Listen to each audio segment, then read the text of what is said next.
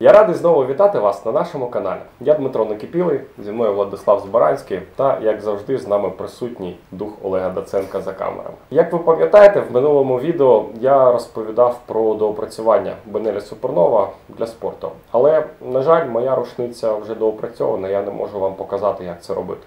Це не проблема. Я підготувався. От я взяв нашого співклубника Боді Петухова, віджав нульову цівку. І ти зможеш всім показати, як ти її допрацьовуєш. Ну тоді пішли в майстерню. Let's go! Перш за все, необхідно зняти зайвий пластик з поверхні цівки, у тому місці, де відбувається утикання другої пари патронів при заряджанні методом квад-лоад.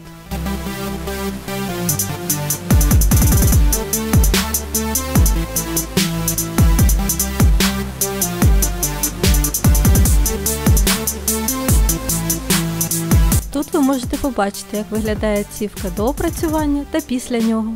Намітивши місце, де буде зніматися пластик, починаємо зрізати його рашпилем.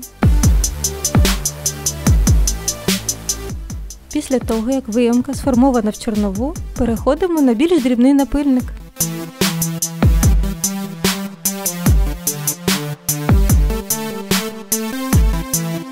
Більш точно вирівнюємо нашу цівку за допомогою надфилю.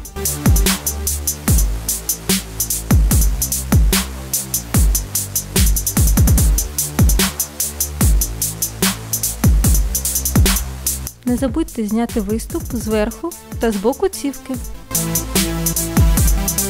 Прискорити роботу можна за допомогою електроінструменту типу дремеля, але треба уникати високих обертів, тому що пластик починає плаватись та деформуватись.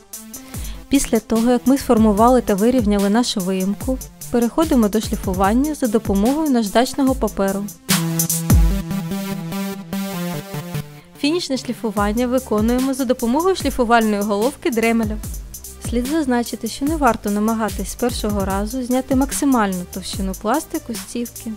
Після першого доопрацювання слід деякий час потренуватись і остаточно визначитись, в яких місцях ви чіпляєтесь патронами. І лише після остаточного усунення цих місць робити фінішне полірування.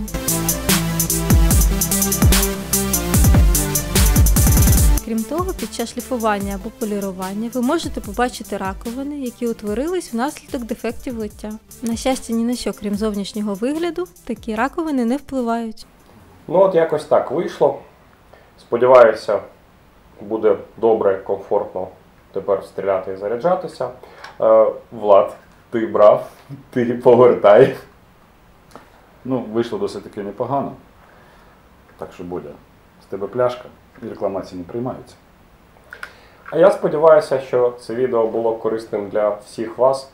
Тому підпишіться на наш канал, щоб не пропустити наш наступний випуск, у якому ми будемо показувати, як доопрацювати ударно-спусковий механізм. Я теж з вами прощаюся і не забувайте про лайки, шери і репости. До побачення.